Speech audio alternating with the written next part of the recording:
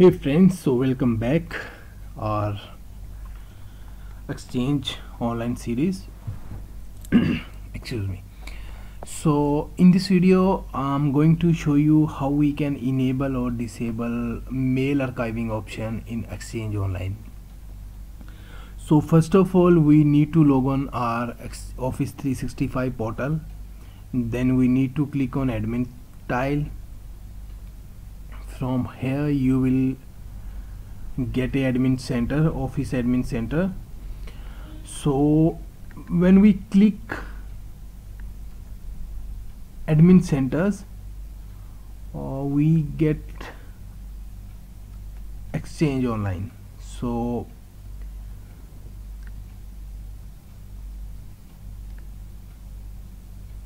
exchange online so from here we need to choose recipients mailbox. We need to select the user for uh, archiving uh, enable or disable archiving options. So in this scenario I'm going to select Vikas Singh so click on edit. Expand it mailbox features. Scroll down. Uh, here you can see there is a archiving option. By default it's in disabled mode.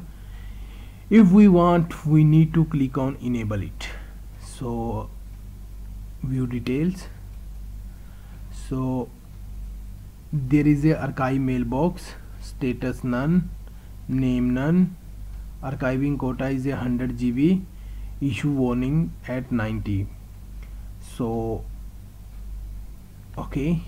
So if you want you can enable it or if you want you can disable it from here. So that's all about archiving. So thanks for watching this video